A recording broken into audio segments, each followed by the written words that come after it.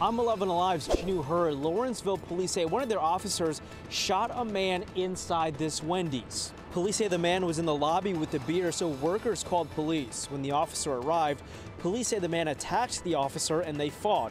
The officer's taser had no effect, and he eventually shot the man. Police say the man was taken away responsive, and the officer is being treated for injuries from that scuffle.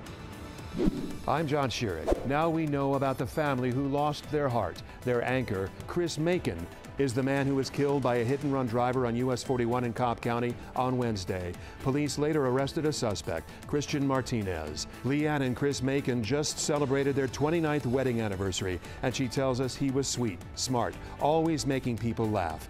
And she doesn't know how they're going to live without him. No room for discrimination. The city of Brookhaven passing an ordinance banning discrimination against members of the LGBTQ community. It specifically addresses equal access to employment, housing, and the right to be served at businesses. State Representative Matthew Wilson tweeting Brookhaven is now the seventh Georgia city to pass such an ordinance. I'm Hope Ford. Later this morning, hundreds will head to the state capitol in support of giving caregivers a livable wage. People caring for others with developmental disabilities make less than fast food employees in our state. And these workers take care of people with cerebral palsy, Down syndrome, and people in wheelchairs. And because of the hard work and low pay, the turnover rate is increasing.